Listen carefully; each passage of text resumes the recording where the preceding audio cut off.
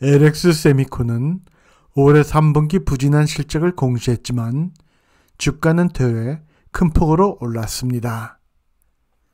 LX 세미콘이 새 CEO의 이은태 전 삼성전기 사장을 내정하면서 기대감이 반영된 것으로 보입니다.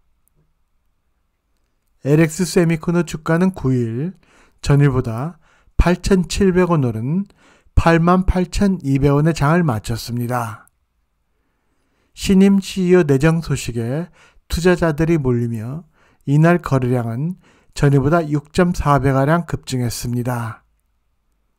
이윤태 사장 내정자는 삼성전자, 삼성디스플레이, 삼성전기 등을 거치며 실무와 경영에서 풍부한 경륜을 갖췄습니다.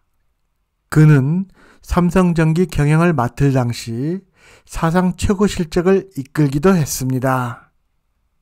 LX 세미콘은 불확실한 경영 환경을 대비하고 선제적인 미래 준비를 위해 반도체를 비롯한 부품 사업에서 뛰어난 역량과 전문성을 갖춘 사업가를 신임 CEO로 내정했다고 설명했습니다.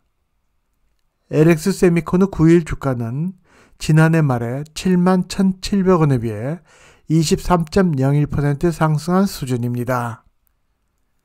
같은 기간 코스피 지수가 8.53% 오른 데 비하면 코스피 상승폭에 2.7배가량 웃돌고 있습니다. LX 세미콘은 외국인이 한때 비중을 높였으나 줄이고 있는 모습입니다. 9일 외국인 비중은 26.47%로 작년 말보다 0.15%포인트 떨어졌습니다. 올해 10월 초보다는 0.27%포인트 내렸습니다. LX 세미콘의 최대 주주는 LX 홀딩스로 지분 33.08%를 갖고 있습니다.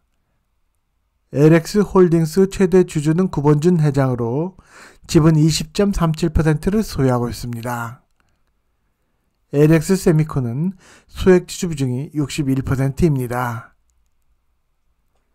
글로벌 이코노믹은 스톡트비가 특허 출원한 BM 모델을 이용해 동영상을 제작하고 있습니다.